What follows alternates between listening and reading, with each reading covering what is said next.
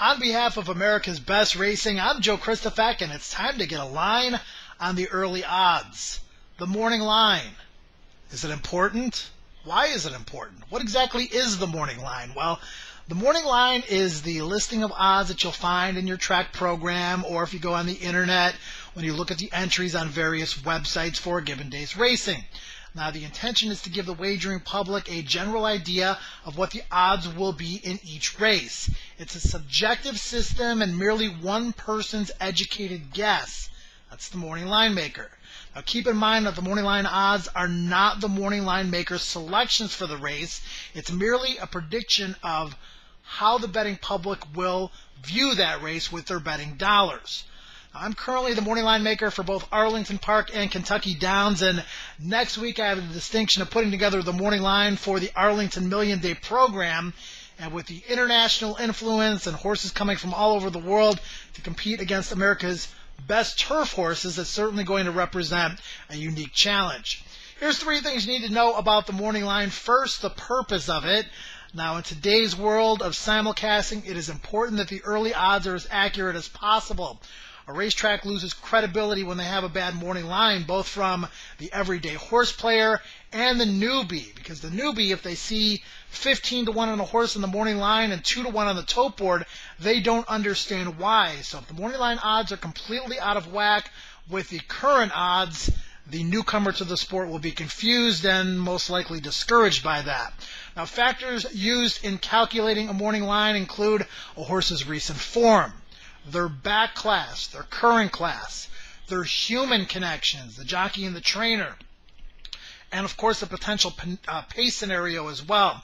Horse players also tend to gravitate towards the horses with the higher speed figures, and the horses with the higher and more consistent speed figures are generally the ones that go off as the post time favorites. The calculation of the morning line. Now, while establishing a morning line may look pretty simple to the naked eye, it actually requires a mathematical formula to be right and to be done correctly. A true morning line must balance based on the points. Now, if there wasn't any takeout in the win pool, the basis for the point system would be 100. But the line maker must factor in the takeout in order to arrive at an accurate morning line. Now, in commonplace, as far as horse racing goes, the takeout on the win pool is roughly 17%. Therefore, we add 17 points to the base of 100 and then add a point for every horse in the race. So in a six horse field, theoretically, it should balance to 123 points. In a 12 horse field, it should balance at 129 points. I give myself a little bit of leeway when I'm making a morning line. Usually, if it falls within those parameters, you know, 126, 127 is usually where I try to fall, regardless of the field size.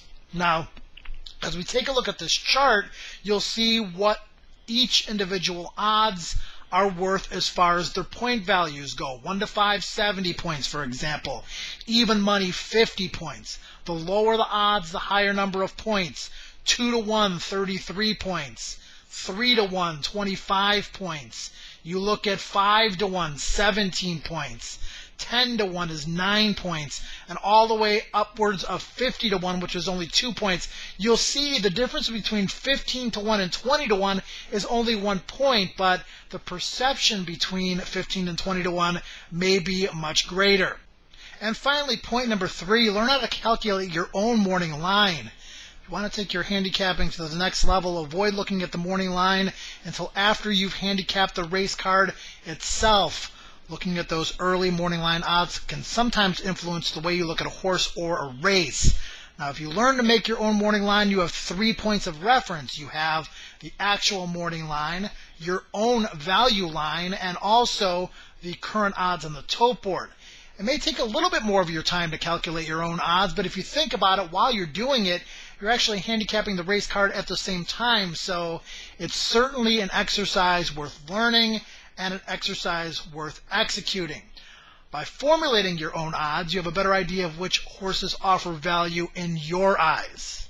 Live it, love it, play it, share it, and bet on it at americasbestracing.net.